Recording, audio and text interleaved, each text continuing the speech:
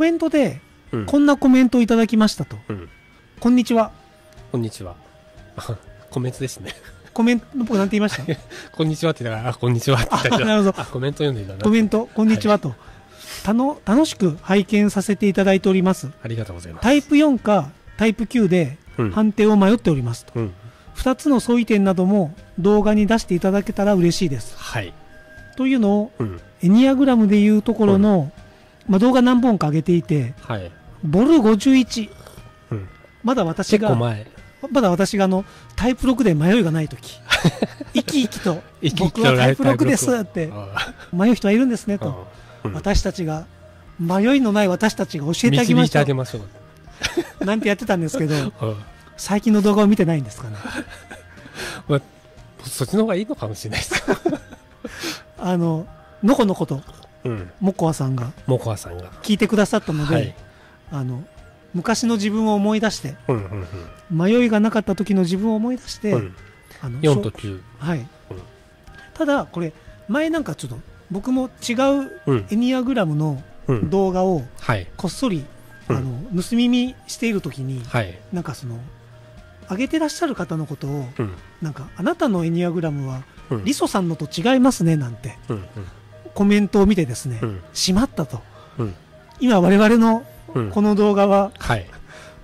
リソさんのエニアグラムなのかみたいなまあうちだっていろんな人がいるじゃないですか。いろんな人の本をうん。紹介したりしていますしてるので、はいリソさんの直そうだから系ではない。もちろんもちろん 直径なんてこの世にはないんでただうん。もう先に弁解させてくださいと、はい。これ、うんあ今日ちょっとこの参考にさせていただくのが、うん。ドン・リチャード・リソさんのはい。性格タイプの分析でございますと、うん。でその中にこんな 心の持ち方対うん精神症という論争とうん全く同じように、うん。エニアグラムのうん。どの流派が最も正しいかうん。といううん。問題すらうん。それは道を誤ってますよとうん。いくつか対立する流派の中でも、どれが本物かというのはうん。明言するのが難しいとうん。例えばそのアリカまあちょっとアメリカに来た時のことですかね、アリカの示したエニアグラムがうん。古代スーフィーの理解の仕方を正確に反映しているかうん。それを判断定するのは不可能だとうん。それを知るには古代スーフィーの源うん。あるいはもっと昔に遡る源うん。に行かないとうん。分かんないよとうん。でしかしその5000年近く昔のうん。バビロンのうん。昔まで遡ったとしても、うん。それが究極の真実かどうか、隊長とそれ本当ですかって聞きますよね。それ本当ですかですよ。ですよねそう。そういうことなんですよ。うん。でなのでそのそれが誰もがじゃあお受け入れるものなんですかと、うん。なのでそのエニアグラムの起源、うん。何が本当かっていうのを見つけるのは、うん。おそらく不可能だとうん。なのでこの豊かなシンボルのうん。現代の解釈法をうん。我々はうん自由に探してよいとうん。だから、新エニアグラムですよ。でっていうのを ドン・リチャード・リソさん自身がうん。うん。言ってるとうん。だから、これもリソさんの解釈リソさんの解釈、うん。なんであなたのうん。エニアグラムはリソさんのエニアグラムじゃないですねうん。そうですそう。私 M8 がの MR。私が変なおじさんですみたいな でうん。要はえっ、とで全てが妥当だとも言えないかもしれないから、うん。全てに耳を傾ける必要はあるだろうとああそうすると M8 の姿勢は正しい。全然正しいんですよ。むしろ正しい。むしろ正しいだから もう攻撃されてもうん。あなたのエニアグラムはリソさんのじゃないですね、さようでございます。なんて言われたとしても いやいやむしろうん。我々のエニアグラムこそうん。リソさんのエニアグラムなんだと。うん。なぜならリソさんがこうやって言ってます。うん。なんてのをはい。先に弁解しつつ。はい。今日はそのモコアさんから、えータイプ4とタイプ9の違いについて聞かれているので、この本をちょっと紹介させていただくんですけども、タイプ4とタイプ9、タイプ4の芸術性はうん。タイプ9のものよりももっと個人的で自己表出的であると、うん。タイプ9の芸術はうん。往々にしてうん。理想化されたうん。うん。神話的なうんもしくは模範的世界うん大抵は現実世界が空想的な素晴らしいものとしてうん粉飾されたものうんうんを表現していると、うんタイプ Q は物語を作る天性の才能があるがうんその話は必ずそしてみんなはいつまでも幸せに暮らしましたとさ。あ。っていうそのタイプ Q の作り事の世界にはうん。不幸な結末は一切ない。あるかもしれないんですけどね。まあ書こうと思えばね。うんただリストさんの方ではそうやって描かれています。でそれに対してタイプ4の芸術はうん。一般的にうん。もっと個人的で現実的でありうん。愛や完全性やうん。意味へのうん。彼らタイプ4のうん。深い憧れの表現であるとタイプ4はしばしば悲劇も扱う。うん。悲劇を用いてうん。自己の超越に対して救済を求めると。うなんて言うんだろう。悲劇を書くことで、まあ、自分を表現してそれが救済になるっていうことなんですかね。自分自身を救う表現することで、まあ4の人の気持ちはよくわかんない。こ はい。の辺ですよね。はい、でタイプ Q は平凡さを扱うんですけども日常生活と単純な状況の中にうん。慰めを見出すと。なんとなくわかりますよね。なんか今のままでありのままの幸せみたいな感じじゃないですか。そうですね。うんこの2つのタイプがそのご自身の中で混同する理由としては、うん。どちらもまあ有利タイプ引きこもるタイプだよと、うん。タイプ4は自分自身を守りうん。自分の感情に対処する時間を作れるようにうん。他人から引き下がると。自分自身を守り、えー感情に対処する時間をうん。作れるように、うん。一方タイプ9はうん。自分を脅かす人々やうん。状況から自分の関心をそらしてうん。不安になったり狼狽したりせずに済むようにうん。自分を感情的に自由にするという意味で引き下がると。彼らは他人との同自己同一視をやめうん。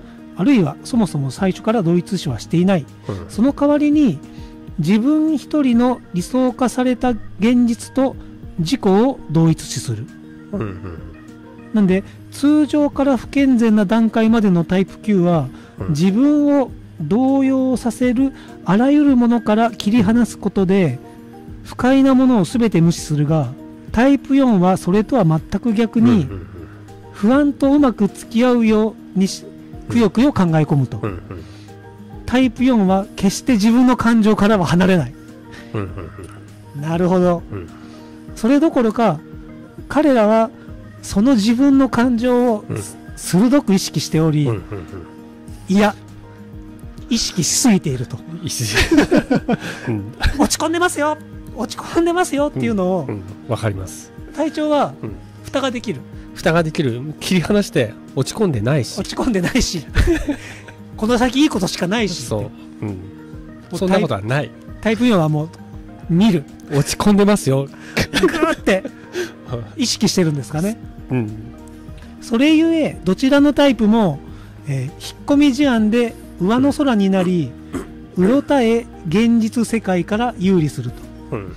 違う点はタイプ9が外の世界と自分の感情の両方からうん。有利するのに対しもう一回ごめんなさいね。違う点はタイプ9が外の世界とうん。自分の感情の両方から有利するのに対しタイプ4は自分の苦しみを与える全てのものものから引き下がるということであると。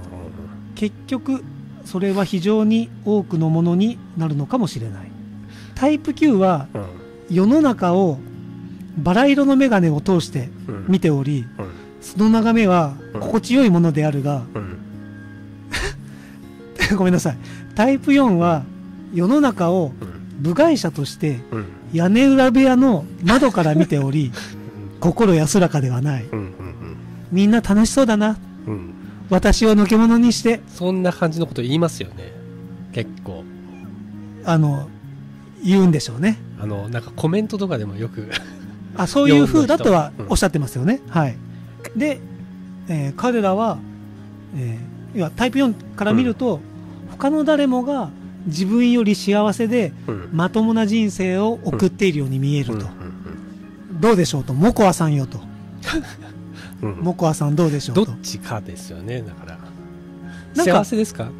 体調幸せですかって言われると？幸せですよ。どうですか？幸せですかって言われると、はい。僕多分どんな状況でも幸せですよ、そうですよね。そう言って言いますよね。うん。でまあモコアさんどうなんでしょうね、うん。あということでちょっとじゃあここでコメント皆さんすいません。ありがとうございます。わ、かるーと FK さんが。ああ FK さん、Q のうん、方面がわかるってことなんですかね。おそらくそうだと思います。よで魚さんすいません。確かに Q の妻の描く絵は動物がメインでしたと。うん。人間には興味ないらしくほとんど描いてなかったです。よ まあ、そこは趣味もありとはい。思いますけどね。相変わらず体調のその感じいいですね。この感じ。この感じ、9 9前なのかうん、8の9寄りなのか8の9よりなのか、はい。うんえーよくぞ言語化してくださいました。まあリソさんそこねさすがですよね。そう。まあその表現力がすごいですよね。リソさんな。あはいはい。文章能力、まあ本当にリソさんのエニアグラムじゃないですねってうん。うん、言う人の気持ちもわかる。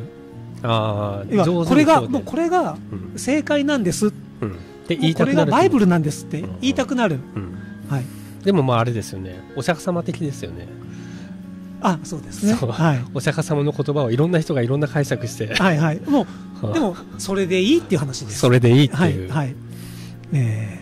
ー、おおバラ色か。やっぱりこの、うん。マッキースタイルさん、はいご自身でタイプ Q っておっしゃいま、うんうん。おっしゃってましたし、うん。やっぱバラ色なバラ色。バラ色ですよ。もっとバラ色があるとは思いますけどね。あーそう。僕僕はやっぱりバラ色にで見なきゃって思ってるんですね。ちょっとしたバラ色かすごいバラ色かの違い。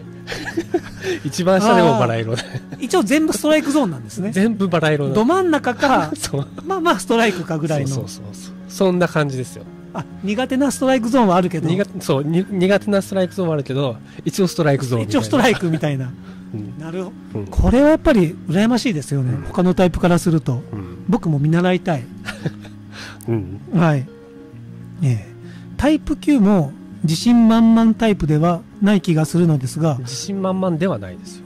どっちかっていうと自信ないタイプじゃないですか、はいはいはいはい。そうですね。うん、このでも幸せな自信は自信っていうか、んと自うんと自信はないはい。けどはい。それでも幸せなんですよ。Q の人は。あその自信がないと思うことすら嫌なので見ない、そっかそのうん。自信がなきゃダメとか、うんうん。いいじゃん自信なくても。ほら幸せ。これこれですこれですよ。今日一今日一出ました。多分それだと思います。うん。終わっちゃいます終わっちゃいますけどね。うん。はい。えーと。でも多分うん。このだからモコアさんも、うんうん。そうですね。幸せですか？幸せですか？バラ色ですか？って聞いた時に、うんバラ色ですってうん。言えるのか、うんいや私は屋根屋根裏部屋だな。あのまあでも表現の仕方はあると思うんですよね、でも屋根裏部屋ですかって言われると、うん、なんかあのコマちゃんとかははい。言いそうじゃないですか。でも笑って言いそうじゃないですか。あその確かに F コマちゃんは、うん。そうですね。あのダメだっていうのをうん。ニヤニヤしながらいやいやしながら言ってる笑いながら。言ってるイメージ。もうカスクズですよみたいな。悲壮感はないです。悲壮感はないじゃないですか、多分僕が落ち込んだ時は、うん。悲壮感半端ないですよ。もうあ伝わってますよね。あもう僕がダメって思ってるのはみたいな。うん。のは出ると思うんですよね、うん。なんで確かにそのオーラ、オーラそう。ネガティブなことを言っても、はい、笑いながら楽しそうに確かに。言う言える。一応花は咲いてる感じはしますね、っていうこのうんうん。体調の感覚と、うん。そのモコアさんの感覚がうんうん近ければうん。近ければ、9なんでしょうね、うん